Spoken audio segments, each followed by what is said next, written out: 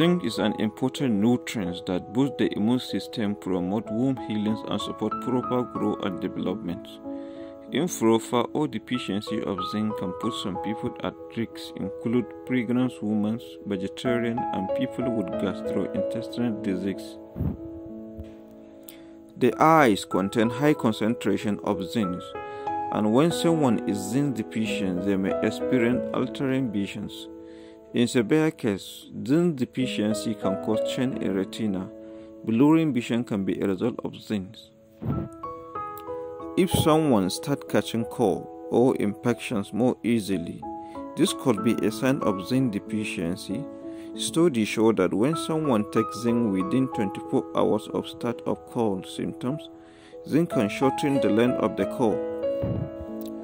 Unexplained hair loss is a common symptom of zinc deficiency. However, oversupplementation of zinc can be just as bad for hair as too little zinc. People should focus on getting adequate zinc from food source before trying supplementations. The appetite change. Unexplained weight loss can be a symptom of zinc deficiency. This can also lead to mood change, irritability, or depressions. Weight loss is not always good. A wound that won't heal can be a sign of zinc deficiency. Zinc supports healthy skin and proper blood clotting and also for treatment of agony. Studies show that zinc supplementation can shorten the course of infection that cause diarrhea. Zinc deficiency can make people more prone to diarrhea. The slow growth in child can point to a zinc deficiency. If a child is deficient in zinc, they may not grow or develop properly also, zinc supplements support proper growth and development for pregnant women. Zinc provides natural blood sugar control and help maintain insulin production.